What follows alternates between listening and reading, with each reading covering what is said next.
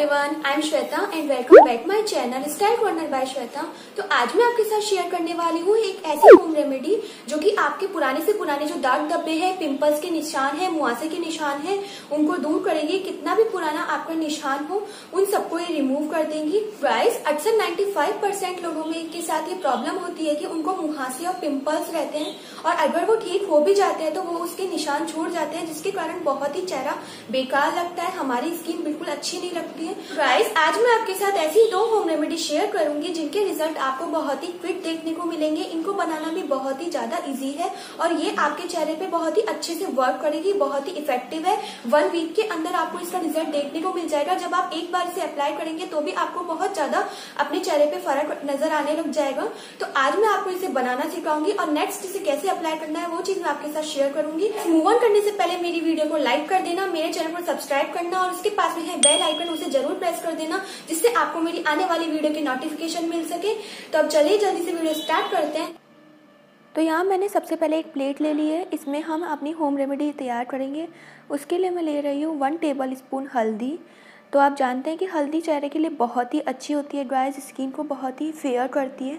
सारे दाग धब्बों को दूर करती है क्योंकि हल्दी में एंटी बैक्टीरियल जो तत्व होते हैं, जो एंटी बैक्टीरियल इसमें इंग्रेडिएंट होते हैं, वो चेहरे के लिए बहुत ही ज़्यादा फ़ायदेमंद होते हैं और ये चेहरे को बहुत ही ज़्यादा ग्लोइंग बनाती है। तो नेक्स्ट हम डालेंगे इसमें शहद हनी तो ड्राइस जो हनी होता है, वो चेहरे के लिए स्किन के लिए बहुत ही अच्छा होता है। ये चेहरे को बहुत ही अच्छे से मॉइस्चराइज करता है, उसे सॉफ्ट और स्मूथ बनाता है। और उसको फेयर करता है और ये अच्छा मॉइस्चराइज़र होने के साथ साथ एंटीसेप्टिक भी होता है, जिससे कि जो स्किन रिलेटेड जितनी भी प्रॉब्लम होती है, उन सबको ये सॉल्व करता है।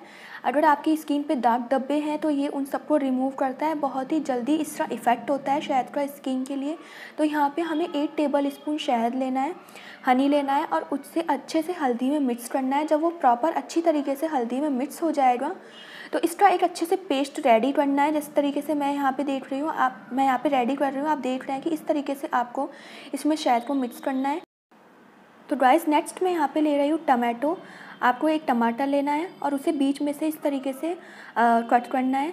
तो ये टमाटर भी स्किन के लिए बहुत ही ज़्यादा अच्छा होता है, बहुत इफ़ेक्टिव होता है क्योंकि इसमें काफ़ी जो मात्रा में होता है लाइकोपिन होता है, जिससे कि जो आपकी स्किन है फेयर बनती है और ये सारे जो दाग धब्बे होते हैं, उनको रिमूव करता है और बहुत ही अच्छे से आपके दाग धब्बों को रिमूव करता है। तो गाइस नेक्स्ट जहाँ पे भी आपके दाग धब्बे हो रहे हैं फेस पे या फिर कहीं पे भी मुहासों के निशान हैं दाग धब्बों के निशान हैं उस जगह को अच्छे से क्लीन कर लें एक फेस वॉश की हेल्प से अपने पूरे फेस को अच्छे से धो लें। फिर आपको टमाटर लेना है और जो हमने पेस्ट रेडी किया है उसमें इस तरीके से आपको डिप करना है। पूरा पेस्ट अच्छे से टमाटर पर लग जाना चाहिए। और फिर हमें उस जगह पर अप्लाई करना है जहाँ पर हमारे दाग धब्बे हो रहे हैं। तो दे, आप देख सकते हैं मैंने इस तरीके से इसे ले लिया है और अब मैं अपने हाथ पे इसे अप्लाई करके बता रही हूँ। तो ये जो टमाटर होता है आपकी स्किन को फेयर बनाएगा। थोड़ा अच्छे से प्रेस करके इसे लगवाना है, जिससे जो पल्प है वो भी इसका साथ में जो रेमेडी हम यूज़ कर रहे हैं, उसके साथ ये पल्प भी निकले। तो इस तरीके से आपको थोड़ा प्रेस करके लगवाना है। And guys five to ten minute आपको इससे अच्छे से अपने फेस पे स्क्रब करना है।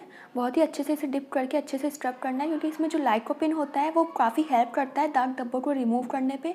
और फिर फाइव टू टेन मिनट्स ऐसे ही रखने के बाद आप इसे वॉश कर सकते हैं एंड आप देख सकते हैं, एकदम से एक ही बार में कितना फेयरनेस आ जाता है। इस तरीके से आपको फेयर स्किन मिलेगी, सारे दाग धब्बे रिमूव होंगे। तो राइस सेकंड रेमेडी बनाने के लिए सबसे पहले हमें चाहिए एक खाली बाउल। मैंने यहाँ पे एक प्लेट ले ली है और एक कपूर की टिक्की ले ली है। कपूर इजीली सबके घर में अवेलेबल हो जाता है क्योंकि ये पूजा में डेली में काम आने वाली चीज़ है।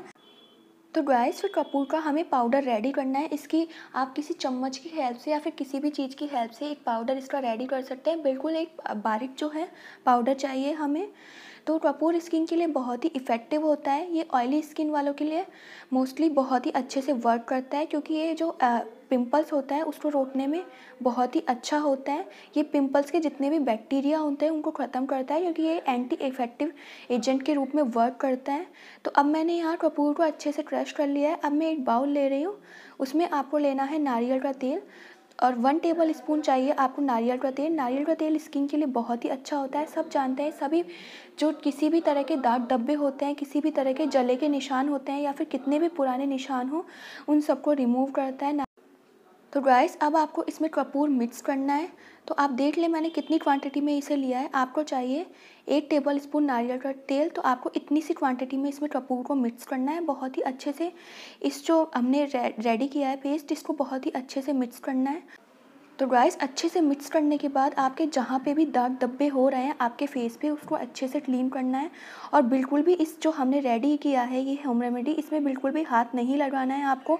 एक कॉटन की हेल्प से ही इस रेमेडी को लगानी है। जिस तरीके से आप देख सकते हैं, मान लीजिए मेरे यहाँ पर हाथ पे दाग धब्बे हो रहे हैं तो आपको एक कॉटन लेनी है और कॉटन को इसमें डिप करनी है और उसके बाद जहाँ जहाँ पर आपके दाग धब्बे हो रहे हैं, वहाँ आपको लगाना है। और ये वीक में आपको करना है केवल तीन बार मतलब एक वीक में आपको तीन बार ही लगाना है दो दिन में एक बार। और लगाने के बाद आपको पंद्रह से बीस मिनट ऐसे, इसे ऐसे ही छोड़ देना है और फिर उसके बाद आप इसे वॉश कर सकते हैं गर्म पानी की हेल्प से या फिर नॉर्मल पानी जो भी आता है, उसकी हेल्प से। ये बहुत ही इफ़ेक्टिव रेमेडी है। आपको एक बार में इसका फ़र्क नज़र आने लग जाएगा। आई होप आपको मेरा वीडियो पसंद आया होगा और वीडियो पसंद आए तो अपनी फैमिली और फ्रेंड्स के साथ ज़रूर शेयर करना और मेरी वीडियो को लाइक करना मत भूलना। मुझे कमेंट बॉक्स में कमेंट करके ज़रूर बताना कि आपके लिए कितना इफ़ेक्टिव रहा। तो अब मैं आपसे मिलूँगी नेक्स्ट वीडियो में। तब तक के लिए बाय गाइस